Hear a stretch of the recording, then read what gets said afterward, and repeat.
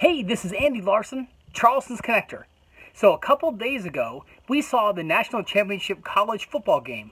It is amazing to me how many people will spend thousands of dollars on both their team gear and tickets to go see a game, and yet they'll spend almost nothing on themselves in the way of self-improvement.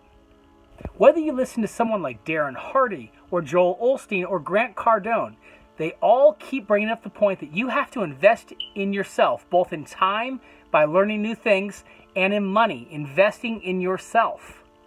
We're in a brand new decade, and 2020 to 2030 can be your decade of dominance. If you're looking for a way to do that, we're looking for some great people, and if nothing else, stay tuned.